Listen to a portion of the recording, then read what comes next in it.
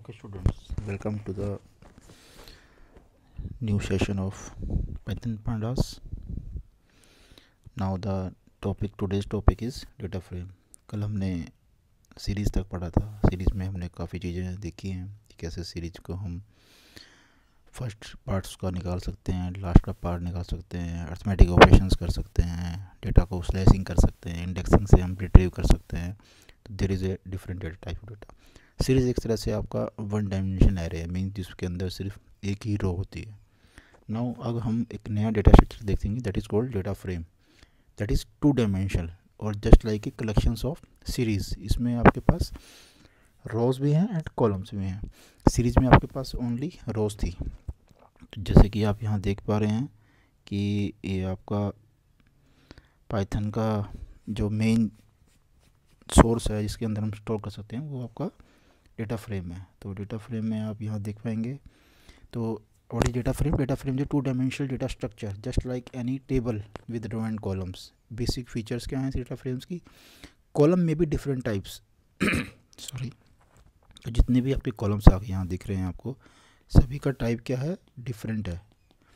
ये आपका नंबर्स हैं this is strings characters string and dates means you can to the different types of data at a different level तो हम यहाँ पर अगर इसको कंपेयर करें तो ये एक तरह से कलेक्शन ऑफ़ डेटाज हो जाता है। साइज़ कैन बी चेंज हम इनका साइज़ चेंज कर सकते हैं कभी भी, किसी भी टाइम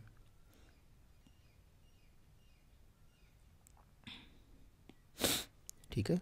तो और अगर हमें कुछ और चीज़ें इसमें ऐड करनी है, वो हम ऐड भी कर सकते हैं। लेबल एक्सेस है उनके, जो लेबल्स हैं, उनको हम कर सकते हैं। Sorry arithmetic operation on row column हम अर्थमेटिक ऑपरेशन हम इस पर इनके ऊपर भी हम लगा सकते हैं। तो अब जैसे आप देख रहे हैं तो सीरियल नंबर ये आपका इंडेक्स वैल्यूज़ होती है। दैट इज़ आपके कॉलम्स हेडिंग होती है। इनको बोलते हैं हेडिंग्स ठीक है? तो it can be created using constructor हम इसको कई तरीके से कर सकते हैं। तो डेटा फ्रेम को कैसे बनाएँगे? पैंडास जैसे हमने इंपोर्ट किया हुआ है ऑलरेडी पाइथन पैंडास तो pandas dot data frame data frame a function which is use to create a data frame उसके लिए हमें क्या चाहिए? डेटा चाहिए। किस फॉर्म में चाहिए? डिफरेंट फॉर्म होंगी। इंडेक्स कैसा होगा? दैट इज़ कॉल्ड इंडेक्स ये आपका इंडेक्स है। कॉलम्स कैसे होंगे? दैट इज़ योर कॉलम्स उसका डेटा टाइप क्या होगा? और कॉपी किस तरह से करेंगे तो अभी हम इसका एग्जांपल देख लेते हैं। तो that is data frame create data frame को हम कहाँ कहाँ से क्रिएट कर सकते हैं? तो there is a different methods हम लिस्ट से बना सकते हैं। हम डिक्शनरी से बना सकते हैं। हम सीरीज़ से बना सकते हैं। हम नमपाई एरे से बना सकते हैं और दूसरे डेटा फ्रेम से भी हम बना सकते हैं। मीन्स एक डेटा फ्रेम ऑलरेडी बना हुआ है उससे दूसरा डेटा फ्रेम हम बना सकते हैं। सबसे पहले हम क्रिएट करते हैं एक एम खाली डेटा फ्रेम कैसे बन सकता है। तो हम उसको देखेंगे अभी। तो उसके लिए हमें क्या करना है? इम्पोर्ट पांडाज एस पी जैसे हम ऑलरेडी सीरीज़ में कर रहे थे। D f one is equal to p d one dot data frame print d f तो ये क्या करेगा? Empty data frame columns zero index zero कुछ भी नहीं होगा तो ये क्या है? एम टी आपका है। अगर हमको लिस्ट से बनाना है how to make a list list आपको पहले से ऑलरेडी हम पढ़ चुके हैं। Import pandas p d one data one is equal to one two three four five that is list ये आपकी क्या है? ये आपकी एक लिस्ट है, ठीक है? D f one p p d one dot data frame data one तो डेटा वन को हमने यहाँ पर इंसर्ट कर दिया मीन्स लिस्ट को इंसर्ट कर दिया। प्रिंट डी एफ़ वन तो ये आपका दिस इज़ ये आपके कॉलम्स हैं, इधर से जाएँगे और ये आपके इंडेक्स बन गए हैं। ये ऑटोमेटिक बनते हैं, हमने दिए नहीं है बिकॉज़ हमने कोई डिफाइन नहीं किया, हम डिफाइन कर सकते हैं। और दैट इज़ योर वैल्यूज़ जो हमने यहाँ पर लिस्ट में इंसर्ट की थी। तो दूसरा एग्जांपल देख लेते हैं। Import pandas p d one data one data one में क्या हमने? हमने स्ट्रिंग की लिस्ट दी है। ये शॉर्ट लिस्ट है। लिस्ट विद इन लिस्ट होती है जो। नेस्टेड लिस्ट ये भी लिस्ट है, ये भी लिस्ट है, ये लिस्ट और इन सब की एक बड़ी लिस्ट बन गई है। Data one d f one dot p d one data frame, function बना है डेटा वन। इसको हमने यहाँ पर इंसर्ट कर दिया। ये हमारा इंसर्ट हो गया। कॉलम्स में हमने क्या लिख दिया? अब हमारे कॉलम्स कौन कौन से बनेंगे जो हमारे कॉलम्स हैं? उन कॉलम्स का हमको नाम क्या देंगे? तो हमने एक नाम दे दिया नेम कि एक नेम होना चाहिए। तो इट मीन्स क्या करेगा ये नेम्स को यहाँ ले लेगा और एक होनी चाहिए एज और हमने लिखा print d f dot print तो ये तो इसने इंडेक्स ऑलरेडी बना दिया। ये गलत बना हुआ है इंडेक्स ये इंडेक्स की वैल्यू गलत है, ये यहाँ पर गलती से हो गया ज़ीरो वन टू ये ऐसे बनेगा। नाउ इन्होंने नेम ले लिया तो हमारे देखो इन्होंने फ़र्स्ट वाले जो वैल्यूज़ हैं, वो सारी नेम में लिया है और एज को दूसरी वैल्यू में लिया है। तो ये आपके क्या बन गए, ये कॉलम हमने डिफाइन किए हैं। इंडेक्स हमने यहाँ डिफाइन नहीं किया था, हमने कॉलम्स डिफाइन किए थे। तो इसलिए यहाँ पर इंडेक्स ऑटोमेटिक लिया बट ये रॉन्ग है ज़ीरो वन टू आता है। तो जैसे आपने देखा तो write below the numeric value as float तो आपको अगर फ्लोट में लेनी है तो आप क्या लिखोगे? Data type is equal to float तो अभी यहाँ पर जो ये इंटीजर में जो आपकी वैल्यूज़ आ रही थी वह फ्लोट में आ जाएँगी। तो दैट मीन्स आप इस तरह से कर सकते हैं। Create data frame from dictionary of ND Vario list तो आपने इम्पोर्ट पॉइंटर्स ये आपकी डिक्शनरी है। डिक्शनरी कैसे बनाएँ? नेम के अंदर की वैल्यू है इसके अंदर दो वैल्यू दो आइटम्स हैं। ये की है ये दो वैल्यू है। ये की है ये दो, दो value sorry this is key and this is the values data one data one को यहाँ ट्रांसफ़र कर दिया पी तो आपको क्या बना? वन टू यहाँ पर भी ये वन टू नहीं आएगा, यहाँ पर मोस्ट प्रोबेबली ज़ीरो और वन आएगा। ठीक है, क्योंकि इंडेक्स हमने दिया नहीं है इंडेक्स ऑटोमेटिकली बन जाता है। तो एज आपकी यहाँ से आ गई और नेम दो आ गए। थर्ड स्टेटमेंट इन आप थर्ड स्टेटमेंट लिखना चाहते हैं तो आप कैसे लिखेंगे? P d one data frame data one के अंदर। डेटा वन ही रहेगा। Index is equal to rank one rank two rank three rank four ठीक है? तो ये भी आप कर सकते हैं। ये आपका एक्सरसाइज है, आप इसको खुद करके देखेंगे, इस वाले पार्ट को तो क्या होता है, ठीक है? लिस्ट ऑफ़ डिक्शनरीज ये लिस्ट है, उसके अंदर डिफरेंट डिक्शनरीज हैं। एक डिक्शनरी ये है, एक डिक्शनरी ये है, ठीक है? तो मैं लिख दिया डेटा वन यहाँ डेटा वन को इंसर्ट कर दिया प्रिंट तो क्या आया आपका?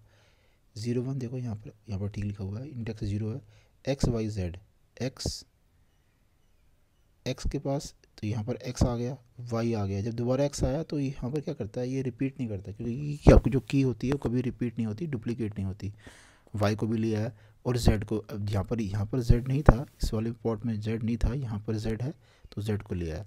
अब जो उसकी फ़र्स्ट रो देखेंगे तो वन और टू लेकिन जेड में यहाँ पर फ़र्स्ट रो में जेड नहीं था तो यहाँ उन्होंने क्या डाल दिया? नैन डाल दिया दैट इज़ नैन लेकिन थर्ड रो में उन्होंने एक्स को फाइव डाला सेकेंड रो में, और वाई को फोर डाला, और जेड को फाइव डाल दिया, ठीक है? तो इस तरह से आपका, और जब भी आपका नैन आ जाएगा, जब भी नैन आएगा नैन के साथ जो वैल्यू आएगी हमेशा आपकी फ्लोट में आ जाएगी, ठीक है? नैन के साथ हमेशा इसलिए ये फ्लोट में बाकी इंटीजर में है, ध्यान से देखेंगे। ये सब इंटीजर में है बट ये क्या है आपका? फ्लोट में है अकेला, ठीक है? तो ये आपका एक नेक्स्ट इसी में ही है, इस प्रोग्राम को आप घर पे ट्राई करेंगे। राइट बिलो थर्ड स्टेटमेंट तो थर्ड स्टेटमेंट के नीचे, यहाँ पर डेटा वन के नीचे, ये लिखना कहाँ है? डेटा वन के यहाँ पर, आपने यहाँ पर लिखनी है। P d data frame first and second ठीक है? ये आपने डी एफ़ वन से पहले लिखना है। तो this is create data frame dictionary of series अब आपके पास सीरीज़ आएँगी तो ये आपकी डिक्शनरी है। वन वन के साथ क्या है? P d one dot series one two three index क्या है? A b c two two के साथ क्या बनेगा? P d one dot series ठीक है? One two three four index क्या होगा? ए बी सी डी यहाँ पर देखेंगे चार वैल्यू है ऊपर. यहाँ पर तीन वैल्यू है, यहाँ पर चार वैल्यूज़ हैं. ठीक है? यहाँ थ्री है, यहाँ फोर वैल्यू है. तो यहाँ पर थ्री इंडेक्स है, यहाँ पर फोर इंडेक्स है. तो हमने डेटा फ्रेम को बनाया डी वन को यहाँ पास कर दिया डेटा फ्रेम में तो डेटा फ्रेम बन गया प्रिंट डी एफ़ वन तो ऑब्वियसली आपने क्या बनाया था, ये डिक्शनरी है तो इसके हेडिंग अपने आप बन जाती है, क्योंकि जो की वैल्यू है वो ऑलवेज क्या आती है, वो हेडिंग में आती है। तो ये हेडिंग यहाँ पर आ गई वन की वैल्यू यहाँ आ गई टू की वैल्यू यहाँ आ गई। तो इंडेक्स क्या है? ए बी सी तो ए बी सी है, लेकिन सेकंड में डी तक है, इसलिए यहाँ पर डी तक बन गया ए बी सी डी ठीक है? यहाँ पर ये फोर पॉइंट ज़ीरो आना चाहिए आई थिंक मुझे जहाँ तक लगता है तो first value one, two, three आ गया, वन, टू, थ्री। उसके बाद वन, टू, थ्री, फोर और नाइन आ गया, ठीक है? ये आप इसको करके देखेंगे एक बार कि जो ये वैल्यूज़ हैं, ये किस तरह की आती है। मैं एक वीडियो अलग से बनाऊँगा जिसमें प्रैक्टिकल्स कुछ करेंगे, वो आपको दिखा दूँगा। कॉलम सिलेक्शन यहाँ पर देखो, अगर मैं खाली कॉलम सिलेक्शन लिखना है तो प्रिंट डी एफ़ वन अभी वन करेंगे तो क्या हो जाएगा? ऑटोमेटिक यही आ जाएगा आपके पास। एडिंग ए न्यू कॉलम अब अगर, हमने यहाँ पर एक कॉलम ऐड करना है इस जगह पर तो हम लिखेंगे d f three d f one three is equal to p p d one series और हमने ये लिख दिया। तो ये क्या हो गया? थ्री एक डी एफ़ वन में डेटा फ्रेम में एक कॉलम ऐड हो गया। Adding a new column using the existing column values तो हम लिखेंगे d f one four d f one plus d f three अब डी एफ़ वन की थ्री की वैल्यू को हमने वन में ऐड कर दिया। तो ये दिस इज़ ये आपकी एक्सरसाइज है, ये आप एक्सरसाइज करेंगे और इसको ऐड करके दिखेंगे कैसे होता है।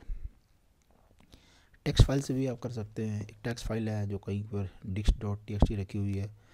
उसके अंदर ये वैल्यूज़ है। तो हम वैल्यू कैसे निकालेंगे? डिपेंडर डॉट रीड टेबल ये एक रीड टेबल की, ये एक टेबल की फॉर्म में इनपुट यहाँ से लेंगे। ये आपका एक फ़ंक्शन है। Input this dot delimiter white space delimiter मतलब कि बीच में उनका वैल्यू को जो बीच में अलग कर रहा है, वो क्या है? तो यहाँ पर बीच में स्पेस वैल्यू है जो इनको अलग कर रहा है। तो डेलीमीटर हम लिखेंगे white space is equal to true और नेम लिख देंगे ए बी सी तो while creating data frame object with column name a and made of data type of b c float हमने यहाँ पर कर दिया है। तो इस तरह से आपका ये वैल्यूज़ बन जाएगा। तो ये जैसी, ये mostly C S V file इसको हम बोलते हैं सी एस वी फ़ाइल होती है। तो ये सी एस वी फ़ाइल से भी हम बना सकते हैं।